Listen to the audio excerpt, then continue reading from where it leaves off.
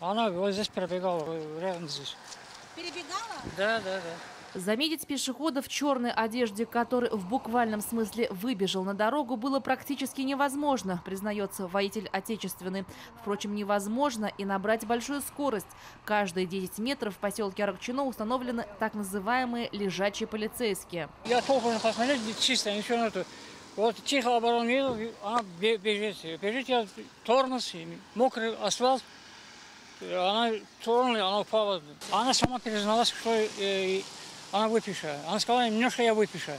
Водитель сразу вызвал на место ДТП карету скорой помощи. Пострадавшую женщину госпитализировали. После приехали автоинспекторы и проверили водителя на свежесть дыхания. А вы сильно не дуй, спокойно дуй и все.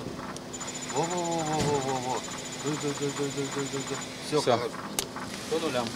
Водитель с 30-летним стажем рассказал, что никогда не садится за руль пьяным и ездит по городским дорогам осторожно. А вот поведением пешеходов, которые рискуют своими жизнями, мягко выражаясь, удивляется. У нас э, э, машина Казани боится, а люди не боятся. Люди боятся ехать, а ну, они, блин, бросаются по- перед машиной. Это наши люди вообще мозга не хватает.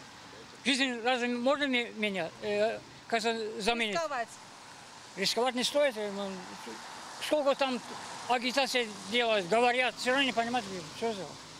Степень вины водителя установят эксперты в районном отделении ГИБДД на разборе.